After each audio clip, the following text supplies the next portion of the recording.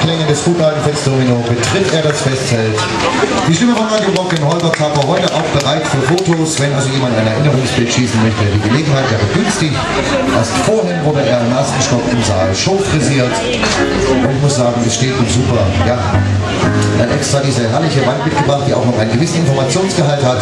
Sie verrät nämlich, dass Holger Zapper in Begleitung von äh, uns und noch diversen anderen Darstellern auf der großen bunten Zapper Show unterwegs sein wird in Sachsen-Anhalt, vielleicht auch in eurer Nähe. Kommt vorbei, der Applaus ist gerechtfertigt.